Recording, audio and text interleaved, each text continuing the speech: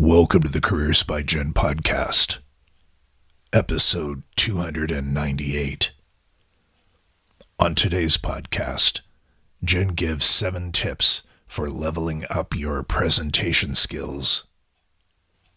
Tip number one if this is a live presentation, remember to wear pants. Hey, I'm Jenn Swanson, and Careers by Jenn is where I help you to get the job, love your work, and advance your career. And I talk about wellness and success topics too. This podcast is actually ending production after episode 300. However, you can find me over at Careers by Jenn on YouTube, where I will be continuing to share career tips, advice, wellness, and success topics, and much, much more. It's been a 10 year run here on Careers by Jenn on the podcast. And until we are at episode 300, I invite you to continue listening Go back and listen to the archives. And please enjoy this show. Thank you so much for being here.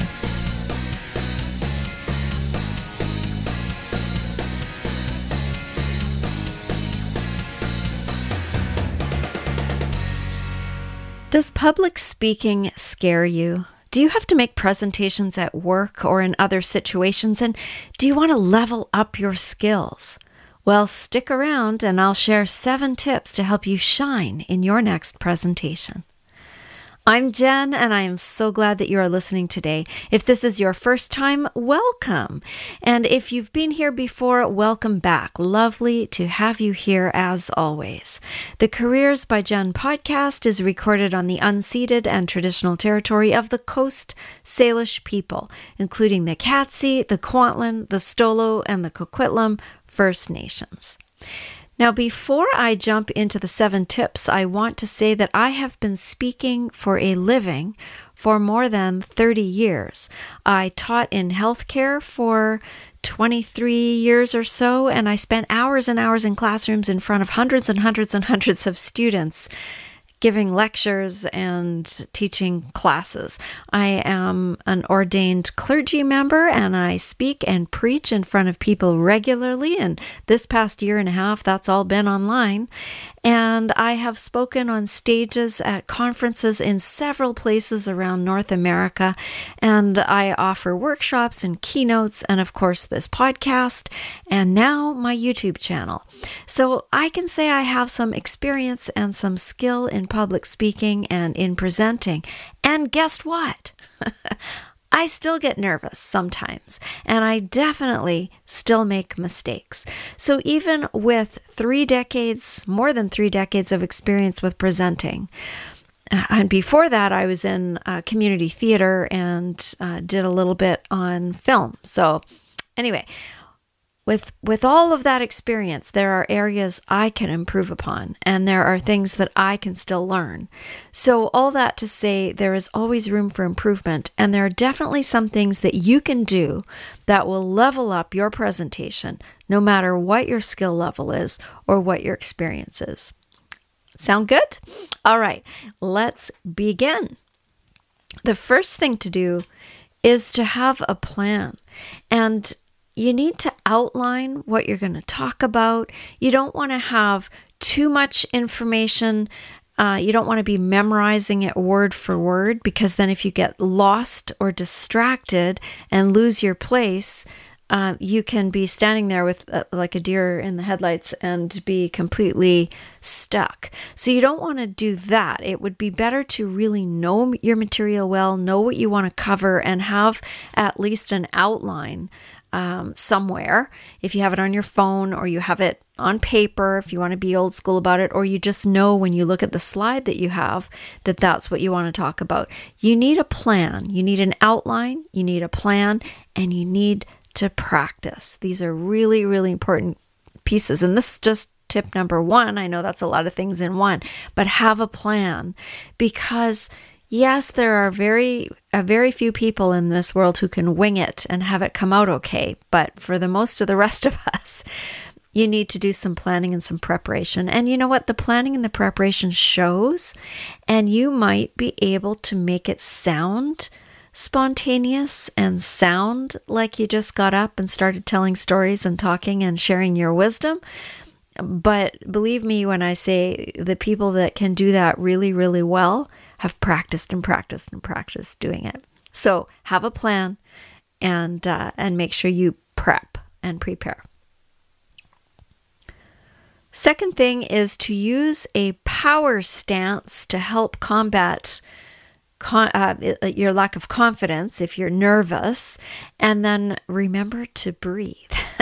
so before you begin, one thing that you can do, and uh, Dr. Amy Cuddy was the first one who talked about this in a TED talk that she did.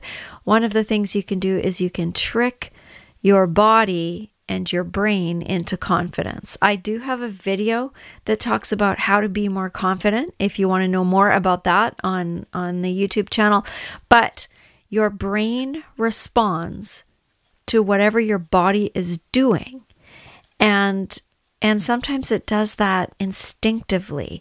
And so what you can do is you can get yourself into a power stance when you're waiting outside or you're waiting in the hallway, you're waiting off stage, wherever you're waiting to go in to do this presentation.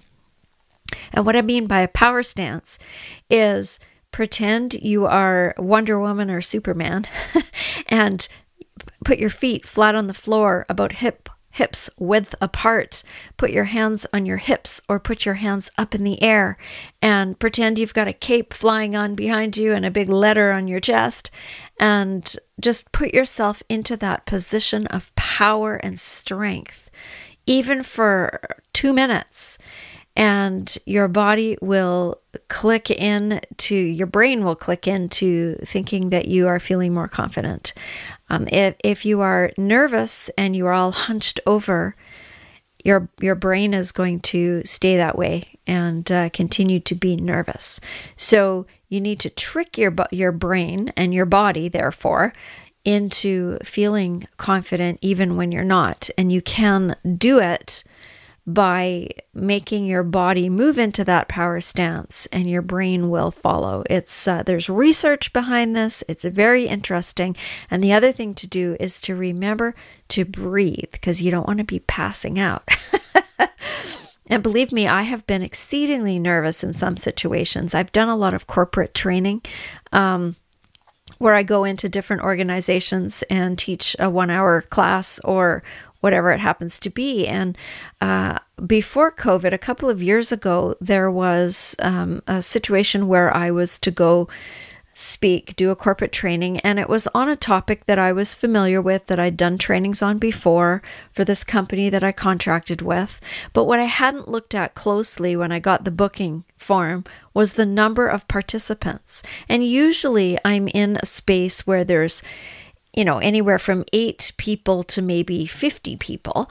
Um, so not that many people, but, but in a, in a work, you know, in a workspace, in a conference room, in a meeting room, sometimes it will be at a retreat like thing. So there'll be more people sitting around tables in a retreat center or, or whatever.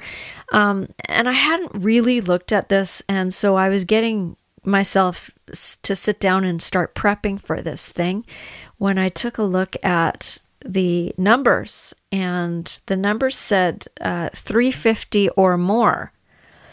And I went, oh, where is this particular training?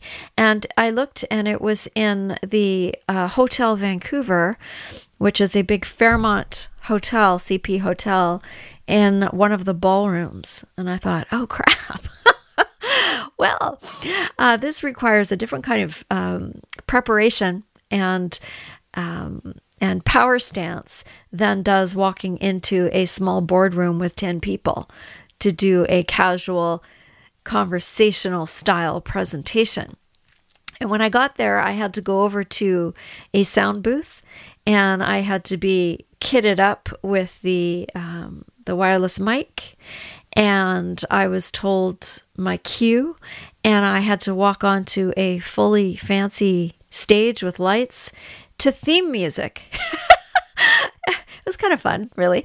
Um, but uh, talk about a bit terrifying. And there was a plexiglass podium that I was to stand behind, and the plexiglass, they gave me a clicker for the slide that was massive on a screen behind me and then on different screens around the room. And um, it was for a bank, and it was for all the managers of all the branches anywhere around. And I guess they'd come in for a conference. And I hadn't realized that when I had first um, looked at the booking form. Uh, because again, the topic was super familiar. It was something I was going to talk about. I talked about many, many times.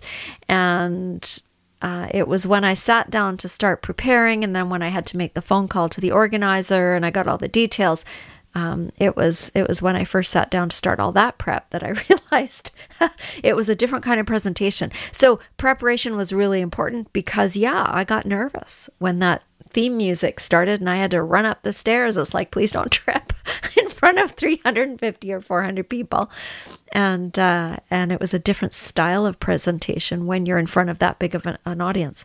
So uh, you need to prepare on many many levels and um, and use the power stance to help in the back and i definitely did that. At the back of the room hopefully no one was looking um, while someone else was speaking before it was my turn to run up there. So um, that was number two. Number three is use thoughtful and minimal visual aids. So if you're going to use slides the power that happens when you have good slides on in a presentation when you're speaking. The power is that there's not a lot of words on the slides. That that makes it more powerful. Imagery is far more evoking of emotion, which is what you want in a presentation. Now, if you're doing a presentation on the financial update of your organization, it there might be different emotions, but but you're giving knowledge, you're imparting knowledge. If you're teaching in a classroom, often you're doing it by listing things that you want people to write down or remember and facts. But even still, bullet points keep them to a minimum. The words associated with the bullet points, keep them to an absolute minimum because it's awfully hard. We've all been in presentations where you can't read the tiny, tiny font that's on the screen it's useless. It's a waste of time to to try and read that, and um, and then to have the presenter just stand up there and read that. That's not engaging. That's not interesting. So it would be far more interesting to um, put up an image of something and then discuss what is happening and what you want people to think about and talk about. That is. Um, represented by the image that you see on the screen. So you can do so much with slides in a presentation. And yeah, once in a while, put some words up there. That's fine. But choose your visual aids thoughtfully and make them minimal as far as um, as how challenging it will be to see. One of the things that's helpful to remember is that there are three different kinds of learners. Um, there are the audio learners, auditory learners, who learn things by hearing. So that would be your speaking. Right. Then there's the visual learners. And so for the visual learners, and apparently we are all visual learners as well, the imagery will be important. Uh, providing you you can see, of course. Uh, for those who can't, then the audio, audio is important, and it's important to hit all three if you possibly can. The third kind of learning is kinesthetic or physical learning. So when you do something, you learn. I I play with buttons and and poke around with things and figure out how to use a piece of equipment and and I like to watch somebody else do it and then I do it and I learn that way far faster than if I have to sit down and read a manual. Um, so if you're using as many of those things as you can in a presentation, it will be far more effective than if it's just one modality. So audio, auditory, so audio. You can use sound, you can use music, you can use sound effects, um, visual, so imagery or props if you have props, and uh, and then kinesthetic means you're getting them to do something. So even if that's answering a question, thinking about something, filling out a worksheet, um, doing an activity, all of those things can help. So that was number three. Number four is to choose your body language consciously. Now you can't control how nervous you feel. because even if you do all of the things, sometimes you're still nervous. You can't control what other people in the room are doing necessarily, or the temperature, or when technology fails, or whatever. But you can control your own uh, physical self and what your body is doing with itself while you're doing the presentation. So if you know your hands are going to shake, then hold the podium if there is one. Um, if there isn't one, maybe you can pull a chair in front of you and, and hang on to the back of the chair. If you know your hands are going to shake, there are things that you can do. Um, if you feel comfortable standing behind something and you know the space, sometimes it's really important to go to the space first if you're able to, or even a few minutes before and see what the lay of the land so that you know what you're walking into. If you're able to sit, if it's a tiny group of people, often I will sit so that we're all sitting on the same level. And that's a body language choice because I want my teaching style is collaborative and I want to be talking with people in a circle if I possibly can, um, because then we're all collaborating together rather than me standing at the front lecturing to people. And in some cases, that's what I'm doing. If it's a keynote speech, I'm usually up on a stage or I'm in front of a bunch of people, and um, and they're expecting me to be doing that. So it depends on the setting and the situation, but you can choose your body language consciously. Where will you stand? Um, what or who will you look at? And um, and and you know how often are you going to pause and look around? All of these things are things that you can control. And i do beseech you to think about these things before you get to your presentation. So think about what you're going to do with your body. You know your body best. If you have a sore knee and can't stand the whole time maybe there's a stool you can kneel on or sit on. Um, these are some of the things that you can set up in advance so that you are the most comfortable you can be so that you can do the best that you can in your presentation. So that is number four. Number five is to smile and connect with your audience. And that sounds um, like, duh, of course you're supposed to do that. But when you're nervous, it's hard to remember sometimes to smile. And when you're concentrating hard, I remember um, one of my kids um, played violin when she was really little. And she was concentrating really hard on what her fingers were doing on the one side and what her other hand and her bow were doing on the other side. And she had this face that made her look like she was mad or or just really unhappy while she was playing. And I knew that that wasn't the case that she was just concentrating. But i remember sitting there in in the audience or in the practice room or whatever and putting my fingers on the side of my mouth indicating you know smile smile and when she'd catch my eye, she'd remember, and she this big smile would come across her very cute face. But um, but it was just because she was concentrating so hard and thinking about what she was doing and performing, right? And so smiling is sometimes something you forget to do, but it really helps you to connect with people and connect with your audience that you're talking to. So um, remember to smile. And there's this thing that where people say if you're nervous, don't look at the faces, look above the heads. I think that's bunk.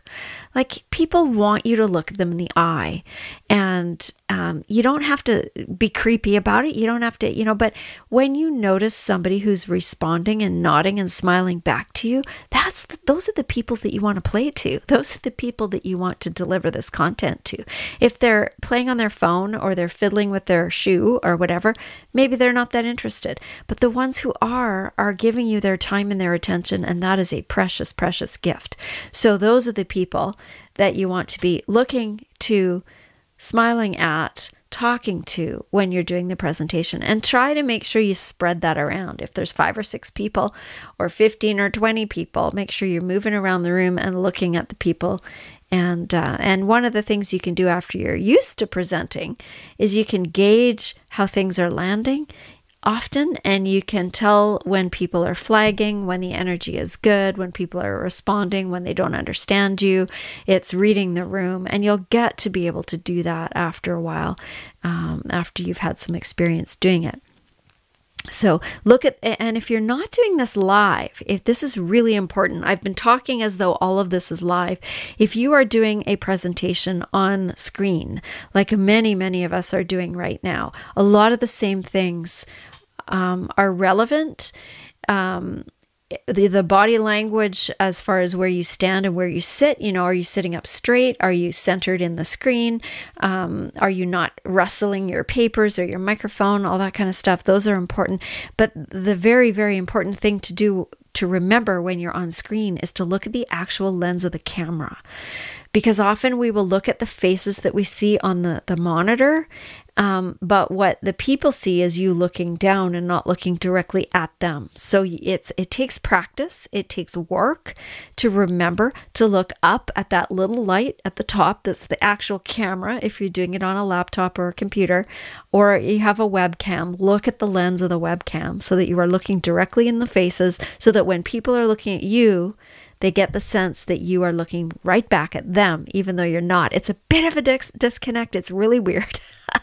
but again, it takes practice. So you can practice all of this in advance. Smile and connect with your audience, whether you're in person or not, so that people get the sense that you're talking to them.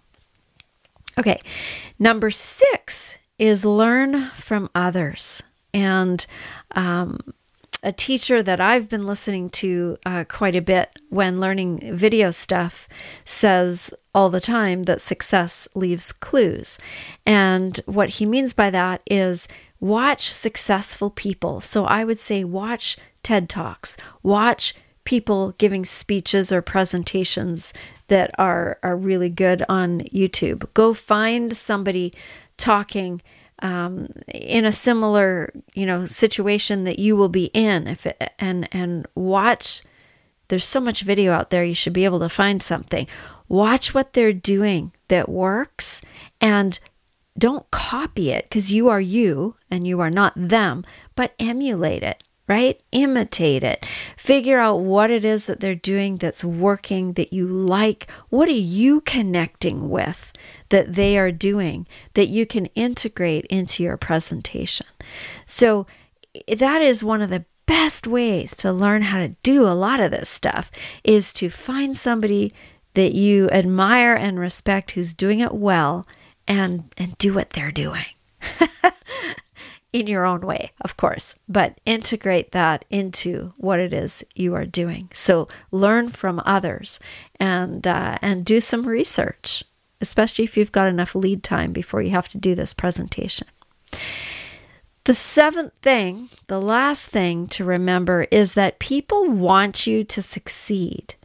For the most part, people want you to do well and are rooting for you and will respond and will clap and will uh, give you feedback, etc. People want to be there and want to learn from you. Now, it's a different situation if you're going in to do something that nobody wants to hear. Now, that is a different situation. And there are, are some different skills. I've been there, done that uh, had to teach uh, a whole program to a bunch of people who didn't want to learn it. And the reason I had to teach it is because they had been told by their employer, if you don't learn this, you're fired. And then they brought in um, our organization to do the teaching. And man, that was hard slogging because you're walking into a room with a bunch of people who are mad and who are sitting there with their arms crossed and who have been, quite frankly, put in a terrible situation. And and so it's really really hard to learn when you're mad. And so part of that was that i had them for six months. So i got to see them three times a week for six months. But what i did get to do with them what, what i did at the beginning was i just let them talk and i listened really well and i let them uh, get to a place where they they understood that i understood and that we finally agreed, let's just make the best of this and let's get you through this and let's do it together. And it worked, but not for everyone. There were a couple of people who left, but um, for the most part, the rest of them stayed. And it ended up being a good experience. But it would not have been a good experience if I walked in and started trying to give them all the content immediately because they weren't receptive, they weren't ready. Um, I've done workshops where I've had to go in and talk about. Um, uh, respectful uh, workplace, uh, bully, anti-bullying, um, political correctness, Me Too stuff, all of that, and those are often uncomfortable situations because the uh, company has uh, hired the speaker to come in and do that work because there's been an issue and people are not in, you know not always willing to be told they have to go sit in a workshop. So it depends on the context um, as to how it's received, but but in general and for the most part, if people have to be there, even if they have to be there, they want you to be good and they want you to succeed. So um, there's goodwill. And that's, I guess that's what I'm trying to say. There's goodwill, and people are rooting for you and uh, and you know honestly people in person especially are usually polite. If it's on the screen they might just shut off their camera and be doing something else. And so as long as they're not heckling you it's all good. Ah so those are the seven things to help you level up your next presentation. And if you have any questions about this please feel free to reach out. I'm happy to answer them and to talk to you about them Next week, I have a special treat for you. Sometimes he gets called Scary Voice Dude. Sometimes he's just the deep voiced intro guy. I call him Scott and my husband, and he is a life and corporate coach. And Scott will be joining me for episode 299, which is going to be a lot of fun. We're going to be talking about stories and how the stories we tell ourselves can lead to either our own sabotage in our careers and in our life, or they can lead to our own successes in our careers or in our lives. So stay safe. I'm excited to bring you Scott next week. And until then, you take good care. You've been listening to Careers by Jenn with Jenn Swanson. If you like what you heard, please share this. You know, if every single person listening today shared this episode with just one friend, our audience would be twice as big just like that. And the more people we can help with our content, the better. So help out a friend and help grow our audience by sharing this show with someone you know who would benefit from the content. If you haven't subscribed yet, please do that, and together we can make a difference. Until next time, take good care.